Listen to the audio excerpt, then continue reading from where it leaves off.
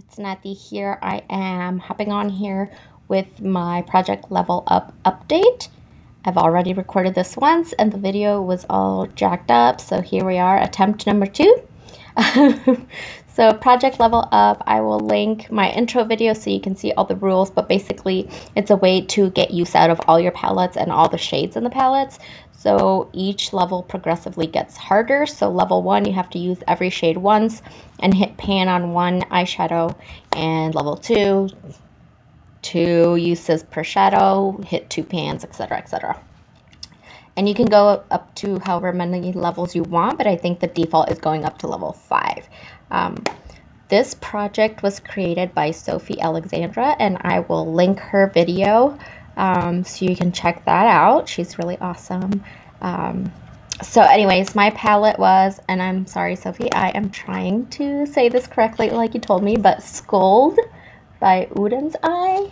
Um, I think I still butchered it, but this is what we're looking at right now. I thought this was going to be a lot easier because the shadow, the pans are really small, so I thought it'll be easy to get through this. Girl, no. So the first shade is Brilliant, it's kind of like an orange shimmery shade. I've used this twice and I really like it as like the main um, uh, product. So I'll put something light in the crease like a light brown or a dark brown and then just let this shine.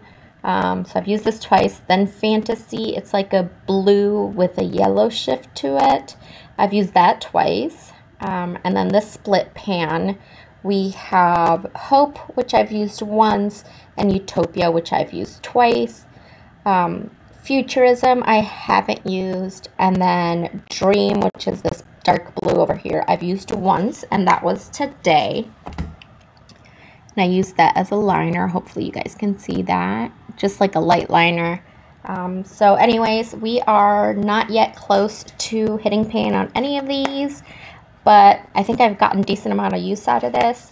Um, I will be traveling this week, so I think I will be taking this to hopefully hit some of those goals. Um, so anyways, um, let me know if you have jumped in on this project. It's been pretty far, um, so fun. I can't talk today. Pretty far, it's been super fun. Sorry, bilingual brain. Um, but anyways, if you are doing this project, link your videos down below. I'd love to check them out. And if you're not recording it, just let me know how you're doing with your goals. And I will see you next time. Bye.